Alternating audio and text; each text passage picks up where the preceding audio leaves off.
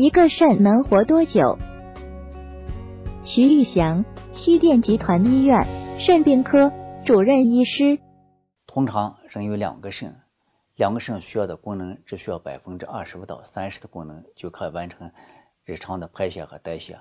如果说人因为需要疾病或者是亲属之间的捐献摘除了这个只肾，只剩下一只肾，它应该也能完成自身的这些代谢，只要在中间保持。不要进一步的损害，保证血压稳定。平常不要对一些保健品、一些对肾脏有损有损害的药物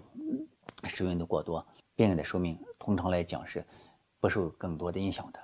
人通常来讲，只剩下一个肾的时候，他不见得能够完全用完，也只需要半个肾就够了。整体来说，人两个肾只需要半个肾，百分之二十五到三十的功能，剩下百分之七十五的功能是作为储备。当然，人的寿命的影响它是多方面的。不完全说是只受肾脏一个器官的决定，肾脏这个器官它也是中间受多种因素的影响，一方面受血压的影响，另外一方面还受其他疾病，特别是现在一些代谢性疾病比较高，像糖尿病、冠心病，还有高脂血症这些问题，它都是不同程度对各个器官造成损伤，当然肾脏的损伤也包括在内。专家提示：人有两个肾，两个肾需要的功能只需要百分之二十五至百分之三十的功能，就可以完成日常的排泄和代谢。二，只剩下一个肾，也能完成自身的这些代谢，只要在中间保持，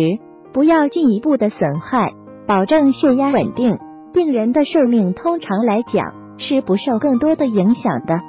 三，通常来讲。人只需要半个肾运行百分之二十五至百分之三十的功能，剩下百分之七十五的功能是作为储备。